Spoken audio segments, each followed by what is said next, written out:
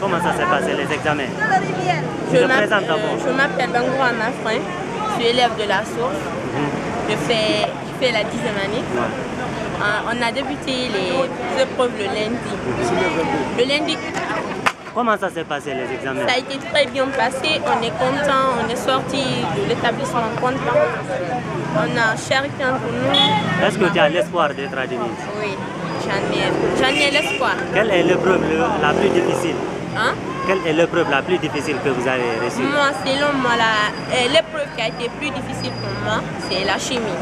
Puisque la durée était très petite, on a dit 1h30 à trois sujets. On a proposé trois sujets à 1h30.